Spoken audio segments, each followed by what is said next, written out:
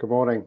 Um, this is Dave Hammond from Mac Solutions, and thanks for joining us on the third of the Kepware OPC 2020 webinar series webinars. Today's uh, webinar is about OPC DA and OPC UA and security. If you're an automation engineer who interacts with the OPC servers on an occasional basis and needs to understand a little bit more about the, the security of the OPC installations that, you, that you're installing or the OPC installations you've got on your plant, this would be a good overview.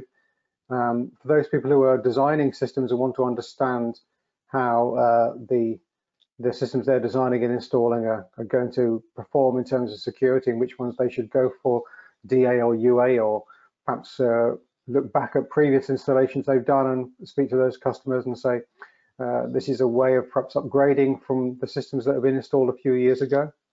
If you're a IT or cyber security engineer, um, this is of particular relevance to you. So here's the agenda. Um, OPC-DA uh, and uh, OPC-UA, a little bit about those. Um, then if you do want to get OPC-DA installations and convert them to OPC-UA um, to increase the security, that's, that's part of what's covered and also how you use OPC UA to bridge between IT networks and OT networks. And as I say, this leads on to next week's webinar, which covers that in more depth and moves on to even more high security or higher security solutions for that. Okay, so a little bit about OPC-DA. OPC-DA was the original OPC specifications from 1995, and the the way that OPC-DA works is using the authentications that actually were embedded in the Windows operating systems at the time. So Windows NT was the operating system at the time.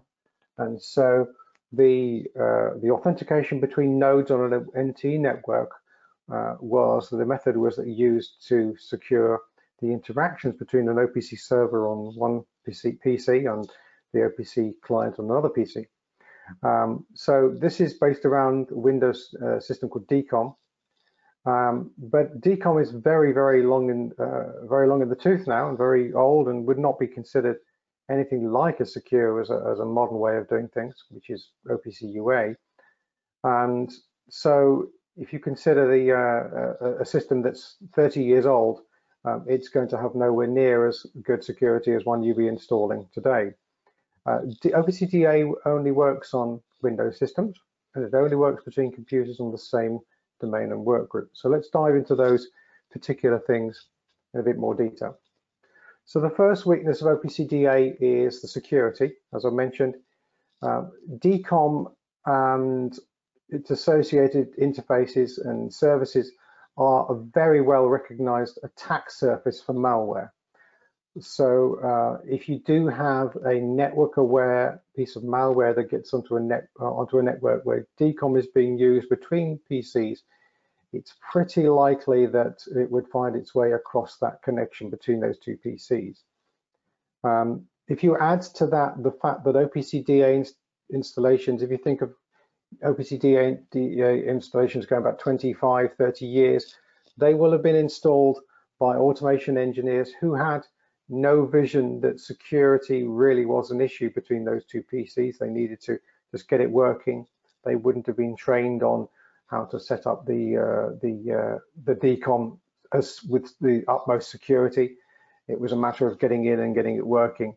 Um, even for people who are trained um, by on perhaps Microsoft trained or security trained, configuring DCOM is actually far from trivial. And just because you get DCOM working between two computers on the network, if you add a third one, it doesn't mean that that's also going to work faultlessly. Um, it seems to be very, very, very finicky getting it working. And a Windows patch or an Windows update can often break it. So many installations were, were installed with uh, fairly open security settings to stop patches breaking uh, an, an, existing installation.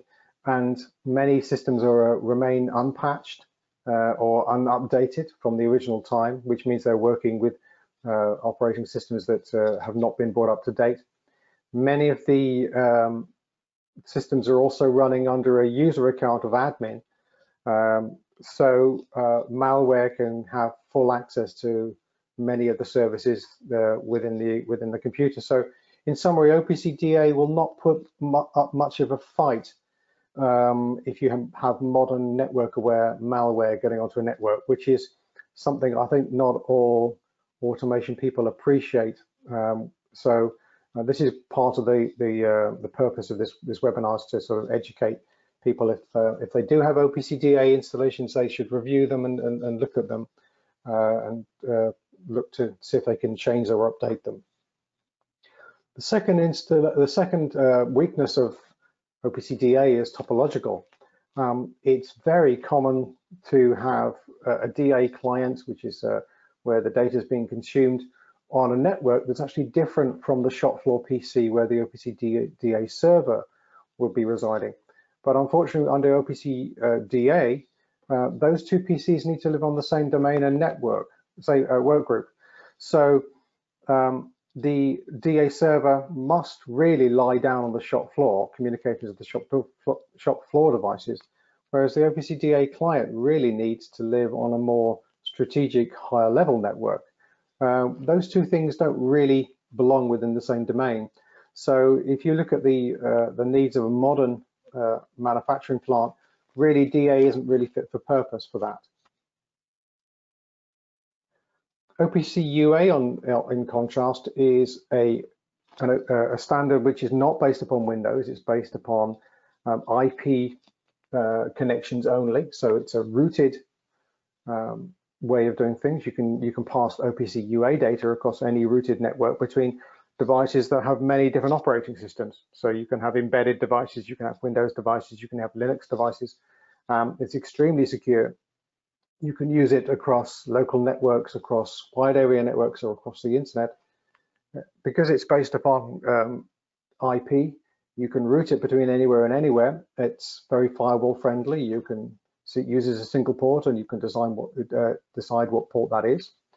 Um, and it works across lots of different devices and lots of different uh, systems. So it's extremely flexible and secure. So all you really need is a, a route between the two IP addresses of the, the, IP address of the client and the IP, IP address of the server, and you can pass data between those two very, very securely. And the way the security works is it uses public-private key encryption in both directions, which is very important. So the OPC UA client and the OPC UA server exchange keys in both directions. So the UA client has a key, uh, the public key of the server. So the server knows that it is, sorry, the, uh, the client knows that it's connecting to the server and only that server, and vice versa. The OPC UA uh, server has a, a, key from the client. So you have data, uh, you have a key exchange in both directions. So both parties know they're speaking to the correct endpoint at the other end. So that's twice as secure as perhaps you doing online banking where you have a the public key of your bank. This would, like, this would be like your bank having the public key of you. So not only you know you were connecting to them, but they knew that it was you connecting. So it's very secure. It covers uh, all of the modern standards. So you have SSL, you have uh, RSA encryption, you have AES as well. Um, you can use certificates which are have come from a, authorized security company like VeriSign, but you can also use your own self-created certificates from within the KEP server software.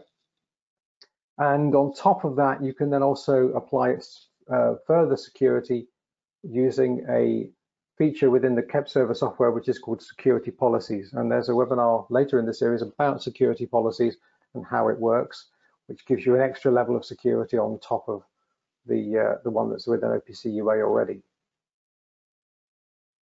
So if you do have an older installation of OPC DA and you're concerned that it might not be uh, as secure as it can be, what can you do about that? Do you have to throw it away and, and start again, or can you somehow convert it or evolve it or adapt it?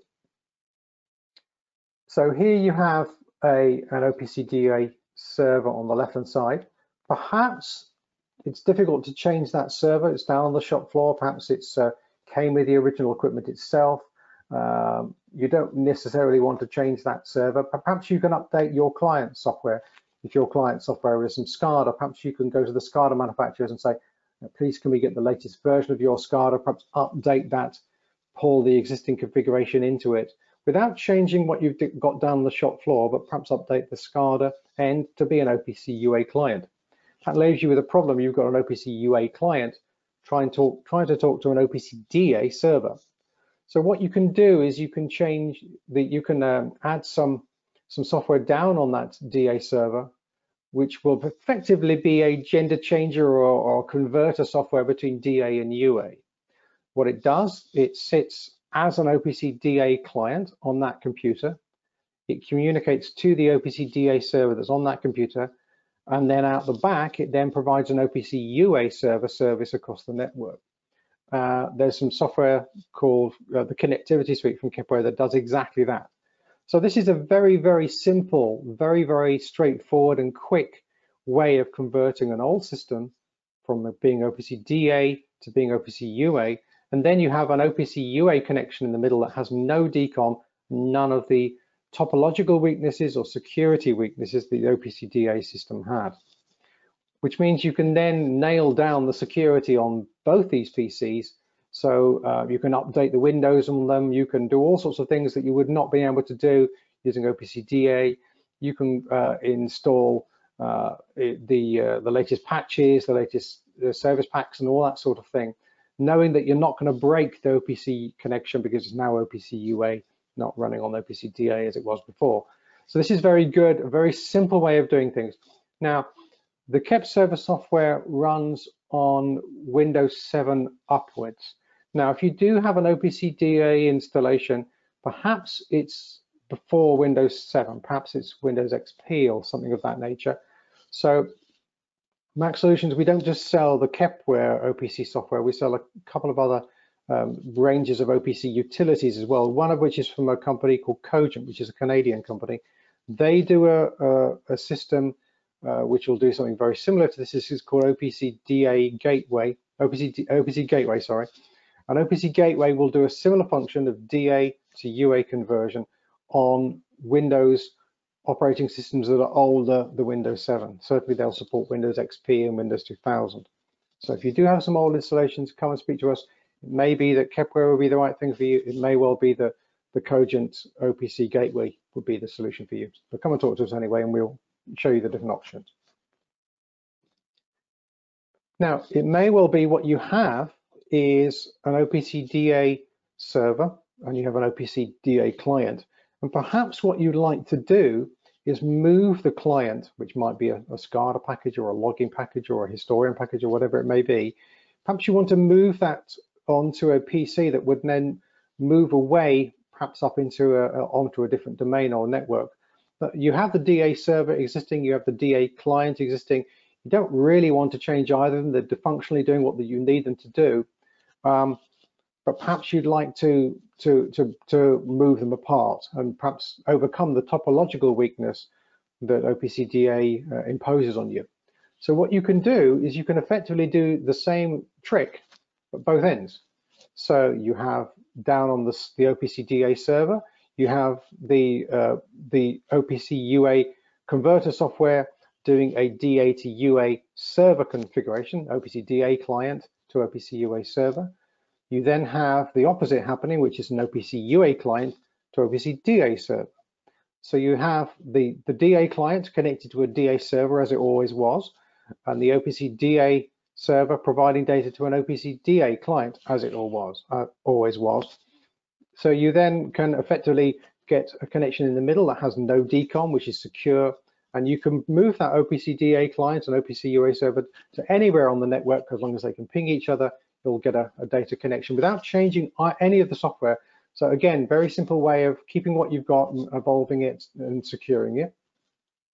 So you can then lock down those PCs and keep everything you had before, but you, you've increased your security and increased your flexibility. And as I said before, if these are pre Windows 7, you can use the Cogent gateway software to do exactly the, the same thing. Now, the diagrams I showed just now were two PCs on the same network, physical network. What happens if you want to bridge from an OT network up into an IT network where the, the client would be on a higher network or a network belonging to perhaps managed by the, the IT guys and the, the OPC server is sitting on the server down on the shop floor. So whether this is a native OPC UA server client or whether it's one of those converted ones, it doesn't matter. It would look like an OPC UA client and server. So what happens if you uh, making a connection with, with firewalls and between two networks? Well, the first thing is the OPC UA client will make a connection to the OPC UA server. Now, when it comes to the firewall on the IT network, that firewall will allow that connection out and there'll be no ports open um, inbound on that firewall. On this firewall, which is the firewall connecting into the OT network, you need a single inbound port open. Now that single inbound port is a port that you could specify, and it is a port which is for the sing single purpose of allowing an encrypted connection to be initiated from the client to the server. So it's not uh, running data which is unencrypted, it's running data which is authenticated and encrypted. So although you do have a port open, and many people would say it would be ideal if there wasn't a port open, in order to get TCP connection running between two devices, a port needs to be open somewhere. And so if you are uh, making a connection down to the OT network, it's best to have a port open that's passing only encrypted, authenticated data to a specific OPC UA uh, server at a specific IP address. That's not much of a, of a, of a, of a security weakness compared with having other other ports open for generic uses. This is a specific purpose, and you could really lock it down into that in that firewall. Now, notice there's no network share here. We're not talking about sharing the general uh, services on one network onto the other network. We're talking about a very specific port doing a specific thing between two specific bits of software, uh, using it, using all the encryption and authentication that goes with it. So if you do have a piece of malware getting onto the I network, IT network, there's no way it's going to get through to the OT network using this mechanism. Some people say, okay, well, I don't really like to have ports open in my firewalls. What I'll do is I'll throw a, a VPN between those two, the two devices on those two networks, the firewall on the IT network, or make a, a VPN to the firewall on the OT network. And that will then allow data to pass through without actually having any ports open.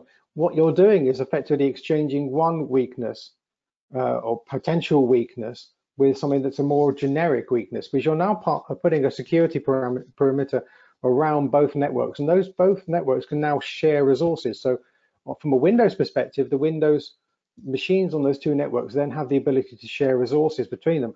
And that, again, would potentially allow network-aware malware to pass between those two networks.